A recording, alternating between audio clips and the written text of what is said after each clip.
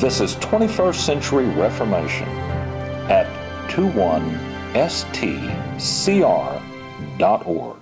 Well, Anthony, here we are again. Good to be together. It is indeed. Uh, what a pleasure. Uh, and uh, and this time in Nashville, of all things, here we are. But, uh, Yes. uh, but it's uh, Ephesians. And uh, what, a, what a wonderful uh, book this is. Rich I- pieces. Indeed. We, we're talking about doing this, and uh, I've been looking forward to it. Because I have too. I love this, this material. I Covers this everything. It does. Everything. Everything possibly It's, it's amazing writing, isn't it? It is. It's uh, uh, so rich and Yes. uh, so much in it. Yeah. I mean, you think that Paul was in prison when he wrote this. It's Yeah, amazing. yeah, isn't it? yeah. And near to his death, he was going to be beheaded within a few years. So we're talking probably the early 60s, yes, somewhere in 62, there. maybe. Yes, 62, absolutely. maybe 63, somewhere there. amazing. Yeah. That's lovely.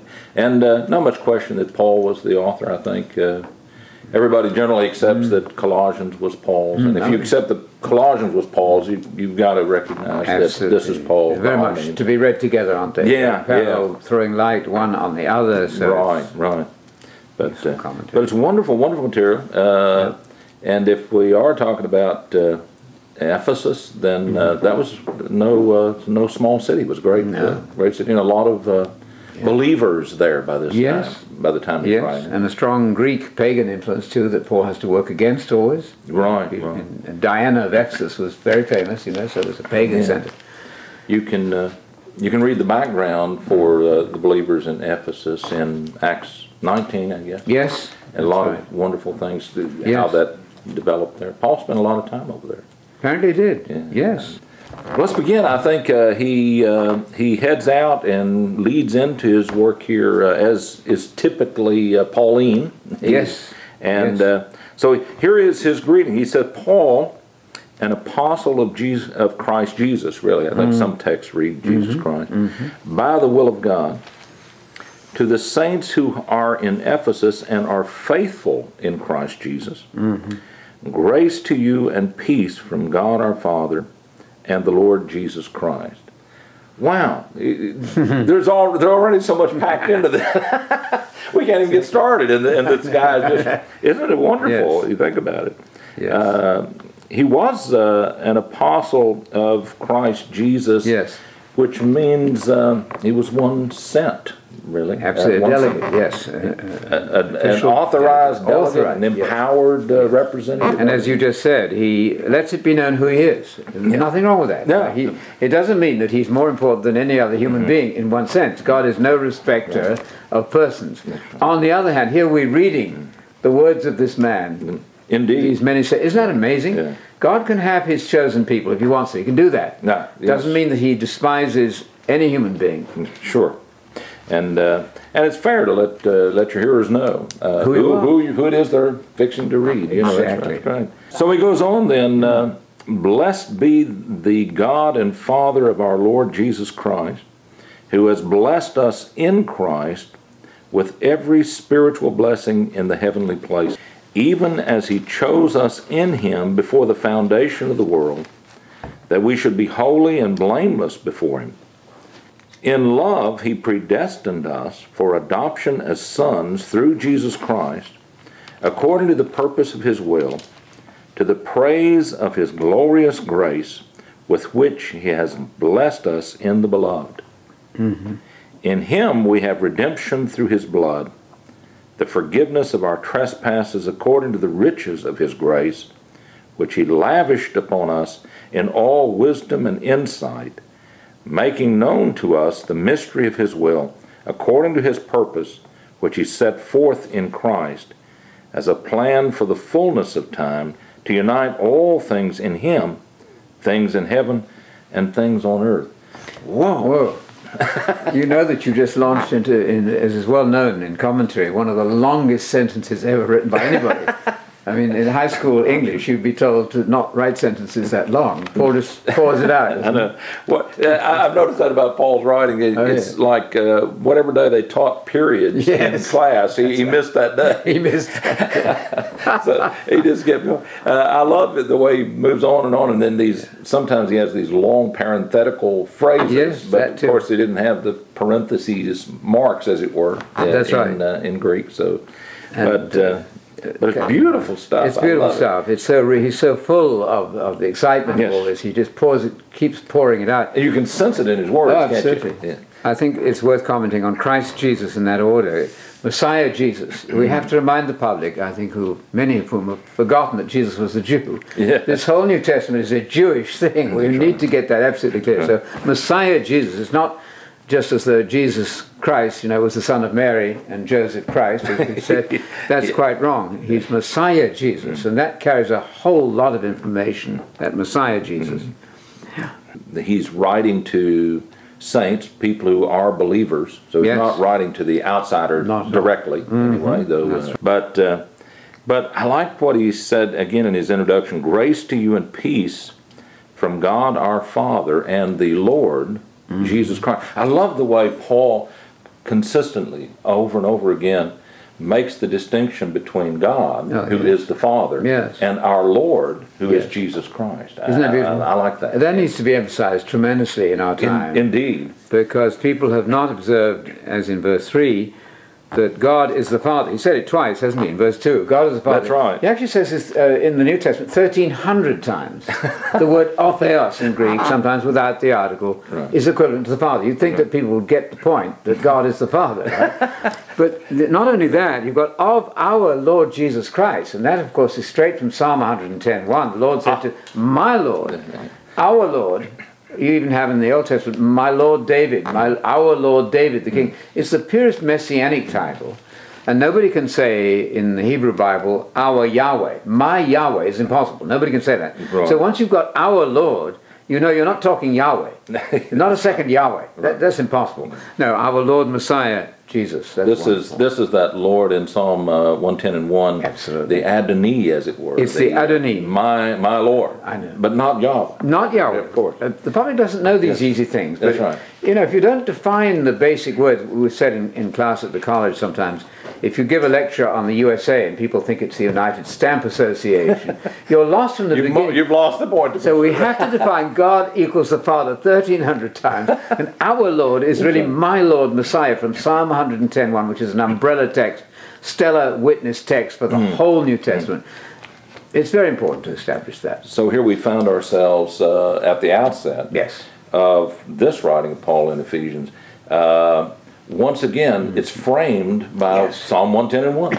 As uh, we've talked before, uh, in a way, uh, Psalm 110 and 1 is the frame for the entire It really is. message of the New Testament. Easy thing. Yahweh said to my, My Lord, and that capital L on the second Lord is actually the most catastrophic mistranslation Yeah. in most Bibles. It should be a little Lord because Adonai is 195 times, never a title of deity. Mm. But that's one of the most extraordinarily easy things. It's sort of hiding from the public. so take the second, the, the, the second Lord is little L, Adonai, my Lord the King. It's beautiful messianic stuff, isn't it? It just breathes Jewish messianic material, but we Gentiles have to get inducted into this whole messianic way of thinking. And uh, and you know, then it's not hard to realize that the psalm does not say in Psalm 110 and 1, Yahweh said to Yahweh. That's right. It- it- I mean, you could say that if, if that's, That's what right. so- some of these folks, uh, That's right. uh, uh, Yes. some of the poor folks out there are, Yes. are insistent on that. But actually, it's not Yahweh said to Yahweh. It doesn't. could have said that. It does not. That's right. Uh, so there's a problem with that idea. Well, it's- yes. And then Paul's carrying it through correctly here. God, our Father, and the Lord, Adonai, Yes. Lord, Right. Uh, curiosity. Yes. Uh, And the Lord, Messiah Jesus. It's amazing because he's done that exactly. He's got the Lord Jesus in verse 2. Mm-hmm. But then he defines it as our Lord Jesus, immediately back to Adonai. Wow. But the sad thing is, Dan, that the translations you see have induced people to read Yahweh says to Yahweh. Because they've got a capital L on that second Lord, which normally translates Adonai, which is the Lord God. But it's not a capital L. So that, I say, is like John 1 1, the catastrophic capital W on word Right. is equal to the catastrophic capital letter on that second Lord. I mean, what's in a capital? Somebody wrote an article on the curse of the capital. How true that is. I mean, we're not saying little things here. These are very major points. Huge things. Huge. If, if, we, if we want to have any chance of uh, understanding and grasping uh, the scriptures, the Bible correctly, the New Testament. Yes. as well as the Old, Yes. we've got to get this framework set. Uh, like that. You know, Yahweh Yes. speaking to this human Messiah, Yes. Jesus. Yes. Psalm 110 and 1. And Yes. Paul's just verifying it right down the line here. In Can we say this? The whole point, in a sense, of the Bible is missed. If it's God being reconciled to God. I thought the whole deal was Adam needed reconciliation. So guess what? The second Adam That's right. is the story of how man can be reconciled to God, as is perfectly true in the case of Jesus. Once you say he's not really a man, but really God dressed up as a man, Right. You, in a way, have undermined the entire point of You're, you're losing the whole storyline. Yeah, The, the whole storyline of the scriptures and the, the whole sense. Yeah. Uh, I love it. And and this nonsense, if I may be so bold as to say, Mm. about uh, he had to be a God man to do these things, it's not right at all. Yes. Uh, what uh, he had, what had to be done to do these things, to accomplish our salvation and these wonderful things, it took not a God man, but it took God and a man. Yes. His son, the Messiah Jesus. It's This is so wonderfully simple too. When you're saying that, I'm immediately thinking 1 Timothy two five. You know, where Paul again is making a creedal statement. Yes, yes. I wish people would go to the creedal statements in the mm-hmm. Bible to decide on the creed. They don't. They go everywhere else. But there is one God, the Father, clearly in 1 Timothy two five, and one mediator between that one God Well, and that's man, right. the Messiah. Jesus Christ himself, a man. I mean, Paul really, I think, was living in, in our century and anticipating the chaos that was going to come from this confusion over Wow. who God is, My which we're trying to undo. Yeah. Uh, well, uh, I think we can rest assured that if Paul were here today, Yes. he would be setting about uh, exactly as he did then, Indeed. setting forward uh, God, who is our Father, Yes. and the Lord, Yes. who is Jesus Christ. And this one who is Lord was made Lord by God. Yes. You know the Right. the Acts two thirty six Beautiful. uh, exposition by uh, by Peter. uh, But uh, Yes. it's uh, beautiful stuff. I think it's wonderful. It is. It's, I think when one gets those definitions right, that there's one God, the Father, and one man, Messiah, the second Adam, the Bible comes alive in a new way. and People Yes, are absolutely. that. Yeah, and then every everything uh, takes on a new uh, new Oh, yes. light. It, it as it does here. You can't even begin the book of Ephesians without whoop. There it all is. It is. And the devil is busy saying, man could not be that good, you see. And Jesus Christ, uh, look at the miracles he did, you know, he stilled the, the, the waves and so on. No man could do that. Well, wait a minute. What if God authorized that man to do that? God gets to decide He what's gets- good enough. Yes. that's right. Not us. Not our uh, our tortured theology. Yes, yes. yeah, uh, the, uh, but uh, and then verse three, uh, Anthony. I love Mm-hmm. what um, what Paul had said there. And in fact, this is one of my favorite verses, and Mm-hmm. sometimes I, I use this as my salutation. But blessed be the God and Father Mm-hmm. of our Lord Jesus Christ. There it is. Wow, I, I think that's.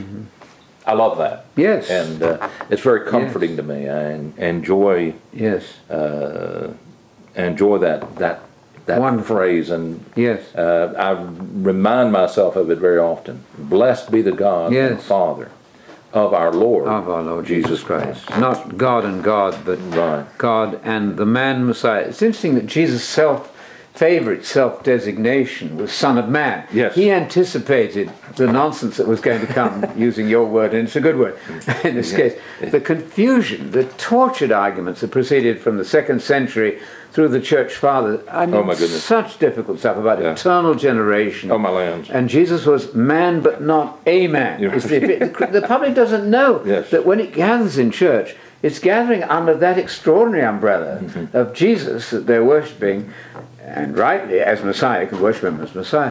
But he's man, according to the creeds, the official post biblical creeds. He's man, but not a man. Yes, yes. Wait a minute, excuse me. I thought Jesus was rather obviously a man in Scripture. In fact, uh, if he wasn't a man, everything's off. Because it wasn't it wasn't God who who had sinned. It wasn't God that had the problem here. It wasn't God that needed to be a sacrifice. It, it was mankind that had the problem. Yes. And it was mankind who had sinned in Adam and on. And uh, so it took a man uh, to to do this, and not a God man or an angel man, Right. but a man, one of us, truly one of us, Isn't that amazing? in order to bring this about. So, and then uh, exactly right. and th- everything rests on that. So the the storyline has been completely confused and uh, and It's turned by uh, Yes. later church tradition. It has. Uh, we got to get back to the, this original stuff. The plot, as you say, has been ruined. Isn't Yes. it? We all get very bored with it with a story when the plot is not clear. That's right. And so the plot is lost. The moment you say Jesus is Michael, for example, Oh, my I'm thinking goodness, of yeah. our friends at the door, who are really quite mistaken because, after all, Hebrews says, To which of the angels did God at any time ever, ever, ever say, You're my son? Never, once. But that doesn't stop then millions of people believing that Jesus is Michael, the archangel. That's pretty amazing, isn't it? Uh, I guess uh, you just ignore Uh, the fact Yeah. that uh, he never said that to any angel, Right. Because you just don't want it to be that way. So that's like the Psalm one ten and one. You have folks out there uh, sometimes, Yeah. suppose I suppose, learned people, Yes. uh, but uh, saying that uh, that is effectively Yahweh said to Yahweh. Yes. They ignore the fact that it's really Adonai, It absolutely. and because they don't want it to be that way. But there right. it is. You know, it's just. Uh, Well, they've even argued that the Masoretic pointing, you know, the points, the vowel points, which were put in later, that they must be wrong then. Well, there's no evidence for that. Of course At not. all. Not no basis at all. No basis. other than the way they wish it was and they want it to be. That's so We're extraordinarily good at making the Bible say what we think it really ought to say according to our That's church right. tradition, right? That's right. Uh, people sometimes spend a lifetime devoted to that, uh, uh, to doing that, to making sure the Bible says what we What need in our for church- it to say. What we in the church have But- decided it must say. Don't we have to get back to letting the Bible speak to us? Let it talk to us instead of us uh, overlaying it Yes. with our uh, our traditions and oh my goodness. Yes. Uh, but then again, he uh, he launches into this uh, very, uh, I would say, cosmic, this very powerful, Cosmic. glorious picture. Uh, this this uh, God and Father of our Lord Jesus Christ, who has blessed us in Christ. Uh, with every spiritual blessing in the heavenly places. And then he goes in, even as he chose us in him, in Christ, before the foundation of the world, that we should be holy and blameless before him. In love, he predestined us for adoption as sons through Jesus Christ, according to the purpose of his will, uh, to uh, the praise of his glorious grace, with which he has blessed us in the beloved. How many times is this in Christ, Yes. in the beloved, in in Yes. him? Uh, I, I love this. And, Yes. uh, so, and then verse 7, uh, I love this verse. Mm-hmm. I think it's a particularly powerful statement. In him we have redemption through his blood, Mm-hmm. the forgiveness of our trespasses according to the riches of his grace. So, wow. So, what is he telling us here? He's going all the way back to the beginning, isn't he? And then and bringing us up to speed. With a sense of purpose, isn't it? Yeah. It's exactly John 1 1. In the beginning was God's great plan and purpose, and all of that then unfolded eventually, in due course, in time, in Christ. The mistake that was made by the early church fathers was that they kept reading the Son back into the past, creating two Yahwehs eventually. And that has really been a blight on the system, mm-hmm. I think. Well, the the moment that they decided uh, that uh, Christ would be a pre-existent being, Yes. we've been thrown into confusion and uh, and never recovered really Never- from right. that. Uh, it's right. it's hopeless confusion. Yes. It's hopeless complication. They can't even really very well uh, deal with the issue about okay, so if he was back there literally. That's right. Then literally, who was he? Yes. We're never quite sure. So sometimes you see him say, "Well, he was an angel Yes, back there. yes. This angel was actually him, kind of incognito, I guess." And yes. all that. It, this is all just Complex. Yeah, complex. Right. When in reality, I I love everything that Paul is saying here. I think leads to verse seven at that point. Mm-hmm. In Him we have redemption through His blood. Mm-hmm. We're talking about a flesh and blood, true human being. That's right. For goodness' sake. Yes. As we were saying earlier, it was it was humans that that had. Uh, that had sinned. Yes. It was humans that had the problem here Yes. and needed to be able to uh, to come back to God. And So, it I mean- took it took a human being to get us into this mess, Adam. That's right. And it took a true human being to get us out of this and, and back to Exactly right. God. It's interesting, as you said, the word blood there, then this is a human being. Since God cannot die, it's absolutely Yes. impossible God to die. All the signals here are this is a man. There's blood Absolutely. here. Absolutely. And the blood not only is the death of Jesus on the cross for our sins, that's well known, it's also the ratification of the covenant. There are so many words here that for Paul, could be expanded. I mean, they were naturally expanded in his mind, but the public doesn't always hear this. So Sure. they forget that the covenant of the kingdom, in fact, in Luke mm. 22, is inaugurated, Yes. is ratified by his death, as well as our personal mm, mm. forgiveness of sin in the death of Christ. Wow. It's just uh, powerful. Paul is, uh, he's anchoring us in here, isn't he? Oh, he's, uh, he's taking you all the way back to the beginning. He said, you know, God determined, he was uh, way ahead of time. He could foresee, he could determine some things that were going to happen in the future. And, uh, and God determined because of what he foresaw. He, he determined that, uh, uh, as Paul said, he chose us in Christ. All of this, of course, was future to happen. Yes. Uh, we weren't there, and li- literally we were not there, and That's right. neither was Christ there in the beginning. That's very important. But all of this came about in Yes. uh, in the future uh, from uh, Exactly. from the beginning, from Adam. And uh, but by the time Paul is here, he's able to say, "Now it's happened. We have it here. That's we right. see this. Christ has come. The Messiah." Could we say then that we, we pre-existed? If you want to argue pre-existence, Well, that's right. we. Christians now were in Christ before the foundation of the Absolutely. world. That's right. We were all foreknown, in fact, foreknown, but not pre-existing. Sure. And likewise, then in First Peter, Jesus is foreknown. There's Yes. a difference between foreknowledge and pre-existence, a total category. and difference people uh, people get into uh, terrible confusion by confusing those two Yeah, things. you know, pre-existence and, and foreknowledge are quite different things. Absolutely Yeah, right. yeah. The fact is that human beings have to begin in the wombs of their mothers. That's Yes. that's a fixed datum, isn't That's it? right. No wonder then the New Testament begins with the genealogy of Jesus, Messiah, son of David, son of Abraham. That's right. That's right. The attempts, you know, of the New Testament to keep us on track are very powerful, Mm. but despite all that, we decided to go our own way from the second century onwards and got ourselves in a muddle Yeah. Over who God and Jesus are. Well, you know, and uh, we have out here, and particularly in the uh, in the Eastern religions, we have this uh, this notion of incarnation, Yes. where that people are being born, but Yes. presumably from some other super state that they were in. now they're being born as a as a human being or Yes. some other being, and later on they'll be reborn again as some. This is strange, but it's incarnation. With Uh, and then Right. sometimes uh, reincarnation, That's if you will. exactly right. So we got people coming into Yes. these states of being, Yes. it- but that's not a scriptural view at all. It's too complicated. And now, uh, unfortunately, uh, this idea crept us into Mm-hmm. Christian uh, tradition, so that we now have it at least as it relates to Jesus in particular. That's and right. so, uh, yeah, he was incarnated from some other. This this is not Christian. That's not truly It Christian in the in the biblical sense. It's not human if you really exist before you're born. That's you right. cannot be human. You can dress up and pretend to be human. But you're talking about capital I, incarnation. Mm-hmm. We can say that Jesus is what the Word, little w, what the Word, the plan, the, the wisdom of God became. He's walking wisdom. But once you make him pre exist as God the Son, you've then doubled the Shema. You've got two Yahwehs instead of one.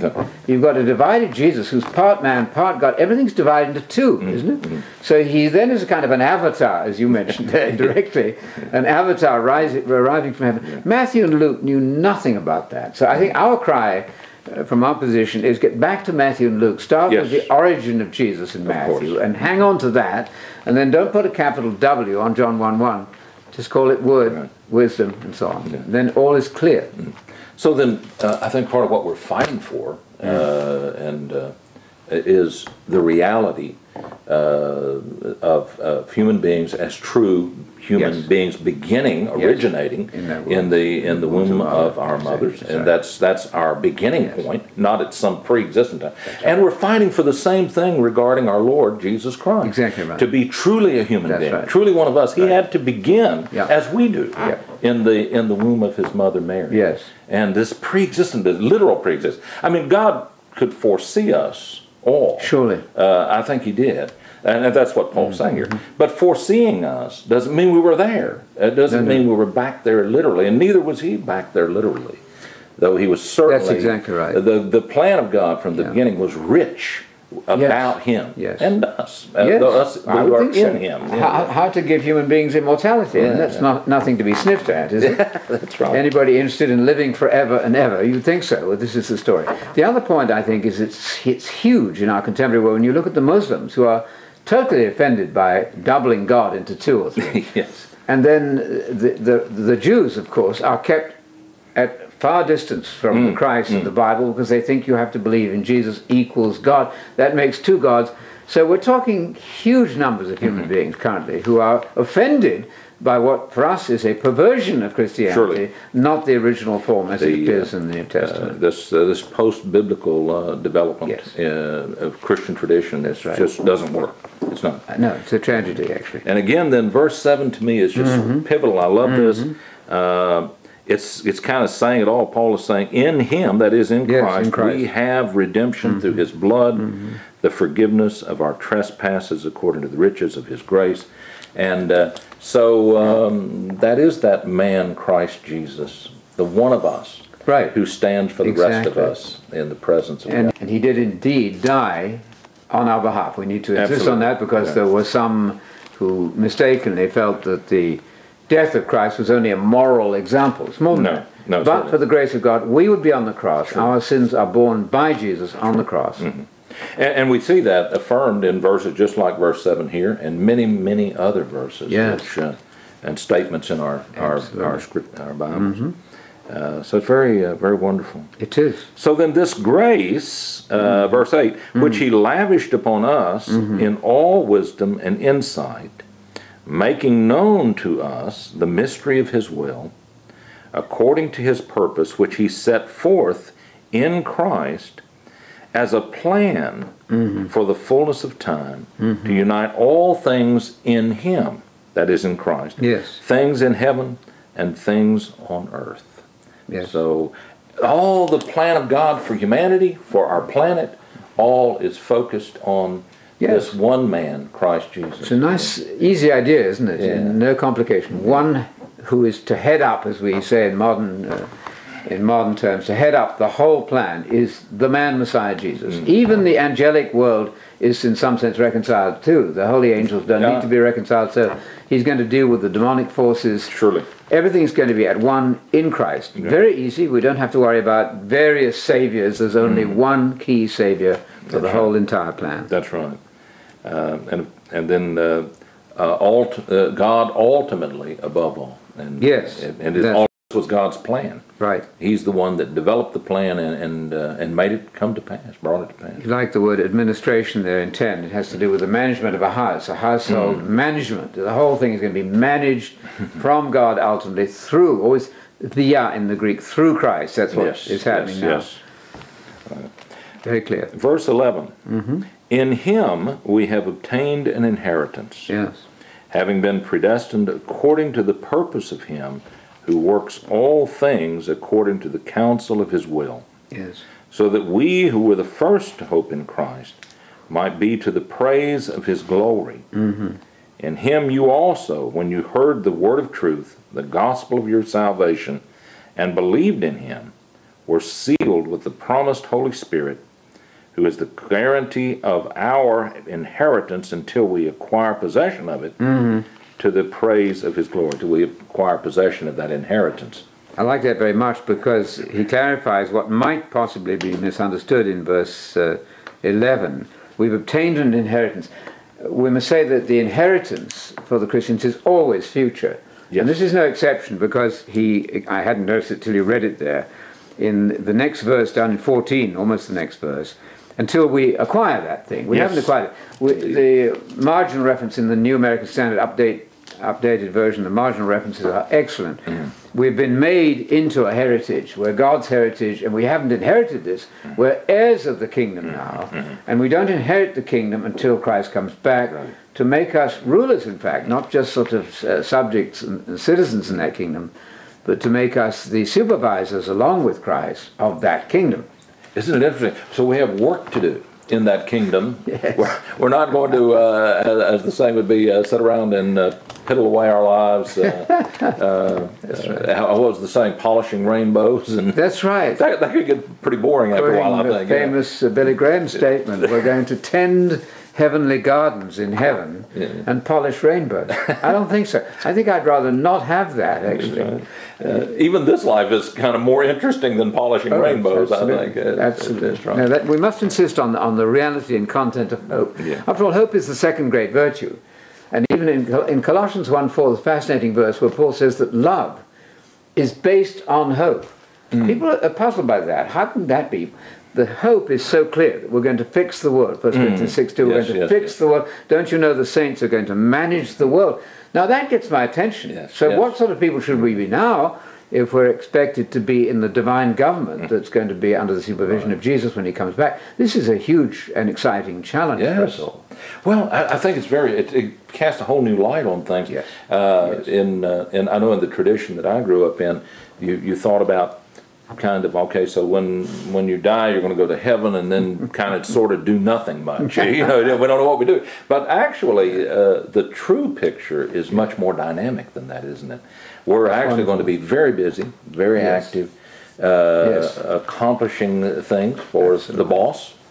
Yeah. Christ Jesus, Yes. uh, who will be the boss forever. Uh, but all of this under the one who is overall uh, God. This is, this is worth emphasizing, I think, Dan, because every human being, to listen to the current discussions on politics, everybody wants to fix the world, and they, they've right. all got their ideas how to make this place better. Right. Wait until Jesus shows us the way to do it fully, and then we can exercise our God given talents, and we better be developing them now, Mm. because not doing anything with your talents is fatal to your entrance into the kingdom in the parables of Jesus. And so the teaching of Jesus behind this, by the way, sometimes people don't realize that Paul is only reflecting what Jesus had already said. Uh, yes, it. yes, yes. Not to be right. separated from Jesus, heaven Surely. forbid. Surely. So we're fixing the world in the future based on what we do now, I think. That's really challenging, isn't. Wow. it? Makes it much more It is. So we're already into the world fixing business. Yes. But on a lesser scale than is actually That's going right. to become the case. That's when, right. uh, yeah. In that, in the right. kingdom of God on earth. on earth. On a a renewed earth. I renewed love earth. Yeah, new earth. So That's the right. mistranslation in the King James there in Second Peter, which says the whole world's going to be burned up, is quite wrong. After all, there was a new heaven and new earth after the flood. It didn't mean the globe had disappeared. That's- right. it that's was a new system of things. Right. The devil is very keen to get rid of our inheritance. He doesn't Yes. like the time when Jesus is going to rule the world and he's going to be mm. bound. Mm. That's not his favorite idea at all. So he's tried to get rid of it, even by some mistranslation. You know, I'm. Uh, I find uh, my my mind is going back to we talking about this inheritance as you were mentioning there, and uh, the Romans eight seventeen thing, and uh, That's wonderful. Paul talking again. Paul talking about inheritance, but Absolutely. uh, but we have this uh, inheritance. We're co-heirs with Christ. Excellent, He says there. excellent. Isn't that more of this? Uh, it's the, it's the It same is. thing uh, in in both instances. Uh, and uh, Excellent, yes. Paul is telling the Romans, and here he's telling the Yes. Ephesians. But we are co-heirs. Yes. We're not just heirs or like heirs of our own merit or our own self, That's but we're co-heirs Right. with Christ, Yes. the the Messiah, the one that God chose to be the leader uh, of the rest of us. That That's right? wonderful, isn't and it? the Savior of the rest of us. I think somehow theology in its worst in its worst form has distanced us from Jesus. It's all right for him; he can do all that. But wait a minute, you're involved also. So the Psalm two about disciplining the nations with Ah, the rod of iron yes, yes. applies in the Book of Revelation to Jesus and to the saints Sure. equally. Sure. My goodness, that's a bit of an honor. So we're the royal family in training. Where the aristocracy, if you like, it sounds pretentious, but it's biblical Yeah. of the world to come. So the point today is then what does this mean for our present lives? We better show ourselves worthy, dare I say, that's Paul's phrase, worthy of entering the kingdom. We better shape up, you know, make sure we're fit rulers of that coming kingdom. And actually, that's a theme that's running you all the way back from Psalm 2 uh, and, and Oh, on. Uh, you find it rooted there. You find it uh, all through, uh, like what Paul's telling the Romans and what uh, he's telling the Ephesians here as we're reading. Uh, but then we find it in Revelation. Uh, we're going to reign with him. Yes. Isn't that something? 2 Timothy Yeah. 2 Who are we? We're, we're nobodies. And Exactly. yet, uh, this wonderful uh, That's uh, state that we have. A challenge, too. Because Oh, yeah. with him, Oh, yes. we're, as you say, going to fix the world. Yes. We will do this. Uh, and and all creation will be brought Yes. ultimately back Yes. to peace with God through Jesus Christ. That's going on now, oh, yes. but it's going to go on then, and we're going to be a part of that, and are a part of it in a way right now. Even this, Even now. this ministry of reconciliation that's been committed to us. This is the now. beginning of a huge reconciliation program that goes right to the end of the book of Revelation. Yes. Even there, you have the nations being healed with the leaves. It's mm. still in process. Yes. And then the curtain is drawn on Revelation. But God is is in a huge reconciling mode, isn't He, mm, through Christ. Thankfully, isn't that Thankfully. wonderful? Well, doesn't it break your heart to watch the news? Jews, you know, when you see these people killing each other in the Middle East, for Yeah. example, Oh, my goodness, it's yeah. absolutely tragic. Or people shooting each other in schools. Yeah. That's going to stop. This We're going to have the power right. to say you right. cannot do that and get away with it. That's right. No more guns mm-hmm. killing each other. Yeah. That's not what we're going to do in the kingdom. And I think it's clear that uh, do as we will, and, and people do. They, they strive to do well in many ways. Yes, they do. These uh, sorts of, uh, of terrible things will not cease in this present age. That's right. All the way through to the end, there is going to be this sort of, of terrible uh, Mm-hmm. event, these, uh, these horrible things taking place. Uh, the shootings, the, Yes. the the harm that humans do one to another. It's going to go on, Mm-hmm. even though uh, as as reconcilers in Christ, we, we want to participate in doing what we can Yes. to bring the message of hope, but particularly that future hope. It, this will be brought to rest and peace in Christ Absolutely. when He returns. Yes. It's all going to be brought to peace. And this is not just part that. academics, too. That's I right. This is you're speaking of hope here, uh, and again, hope is the second great virtue, based on, uh, in fact, he says faith and love are grounded in hope. And so I'm thinking, if you diminish the hope of Christians, guess what? You're diminishing the faith and the love. Wow, yeah. Often congregations are supposed to be more loving. You know, I've got, got to be better. You got to be. You're not good enough chaps yet, as we would say in England. What if the content of hope is not clear to those people? Oh wow. Okay. It diminishes the whole exercise, I think. Yeah. So by understanding and apprehending hope, Ah, yes. love becomes Ah, more uh, more uh, almost intuitive. Then at that point, it right. becomes That's it becomes much uh, freer, Yes. much easier. Yes. Wow. I think yeah. it's an important uh, thing for preaching because If- people say it's just academics, you Yeah, know. But yeah. no, no, it's, it's the reality of the energy and health of a church group that they grasp the hope, Mm-hmm. not have a vague idea of playing harps on pink clouds is what I imagined as a schoolboy. You know, if I ever had a theological thought at all, which was rare Mm. in those days, it would be to play a harp solo on a pink cloud. And I thought this is very dull. The fun of life is other people, isn't it? Yes. The activities of this earth. Well, God has not finished with the earth yet. If He has finished with the earth, then the original plan failed forever. Yeah. And He said, well, plan B is we all do it in heaven. Yeah. No, it has to be resolved in the paradise to come That's on right. the earth. Yeah. Uh, uh, getting this thing back to the order in which Yes. God set it in the beginning and uh, set it with Adam. Though Adam failed, Mm-hmm. but now we have this this uh, second Adam, as it Yes, were, yes. uh, the second man Adam. Absolutely. Uh, again, truly one of us, Mm-hmm. and yet uh, he has not failed and will not fail. And fail. will not fail. Yes, I love that. It's a good so hope is wonderful, and hope. I think uh, I like your thought. Yeah. Mm. Hope, when we apprehend it and we begin to live it, yes, live in it, yes. leads to love. That's an And amazing I like statement, that isn't a it? It's Colossians 1 4. I'll, I'll repeat the text again. Somebody can look it up sometime, but that's a marvelous statement. Commentators are very puzzled by that. They don't see how faith and love could be based on hope.